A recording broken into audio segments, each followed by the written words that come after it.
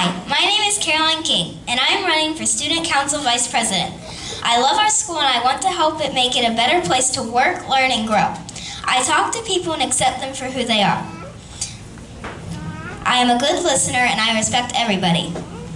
I give 100, 100% to my work every day and I am dedicated to the school. I think I would make a good leader because I love helping people and making a difference. I have participated in many fundraisers for causes such as Children's Miracle Network. My brother and I have put together several lemonade stands to raise money for library books and school supplies for students here at DeSoto Trail. Every year, my family sends the clothes we have grown out of to an Ukrainian orphanage. If elected as your student council vice president, I will try to use my experience to raise money for a box fan under the covered area to keep us cool while we are being active.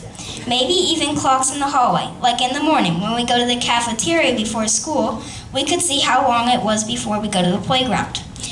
It is also still it is also important to still give back to our community to our community and raise money for causes that are important to our school and students. I think it would be great if the students could lead their own fundraiser every year for a cause that we think is important. I take my school and homework very seriously and turn my work on time. I want to learn more about how the school works and help make it better. I am also prepared to take on this new role with excitement and dedication. School brings memories from friends, teachers, and more. I will try to help those memories better.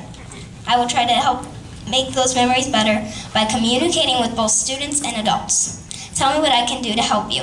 I'm the right choice. Go ahead, raise your voice. Vote smart, vote Caroline for Vice President. Thank you.